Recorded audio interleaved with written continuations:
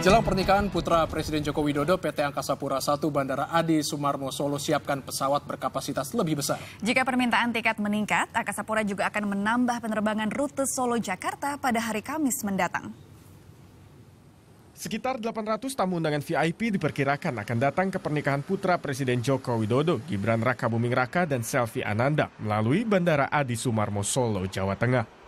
Untuk mengantisipasi penumpukan penumpang di Bandara Adi Sumarmo, PT Angkasa Pura akan menyiapkan sebuah pesawat jenis Airbus 330 dengan kapasitas penumpang lebih banyak yang menggantikan pesawat Boeing 737. Pesawat tersebut melayani rute Solo-Jakarta untuk lima kali penerbangan pada Rabu hingga Jumat mendatang. Jika permintaan tiket meningkat, Angkasa Pura juga menyiapkan satu penerbangan ekstra pada hari Kamis. Ya kita siap mendukung dengan kegiatan tamu-tamu.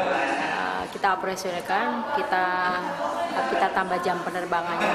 Karena tanggal 11 itu banyak sebagian tamu-tamu yang langsung pulang. Pihak bandara juga akan meningkatkan pengamanan di bawah koordinasi TNI Angkatan Udara. Hari Kamis nanti jam terbang di Bandara Adi Sumarmo diprediksi akan meningkat lantaran ada sekitar 20 pesawat charter yang akan mendarat di bandara. Selamat Lestioro, Kurniawan Arif melaporkan untuknya.